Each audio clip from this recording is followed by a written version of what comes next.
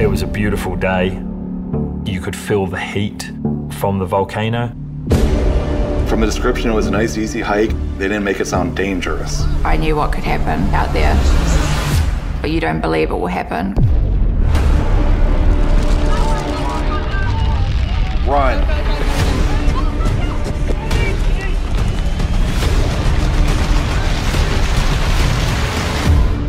I thought, this is it.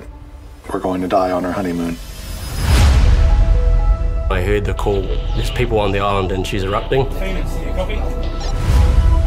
The heat alone was just unbearable. The burns went through all my clothes.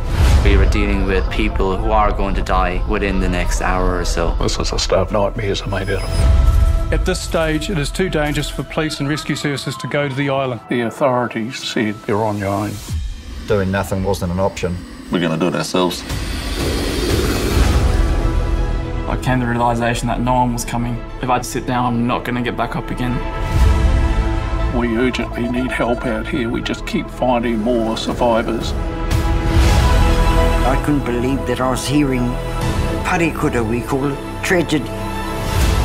This is a time where you're tested. Do I make sure I'm safe or do I go back and help? We are getting off this island now.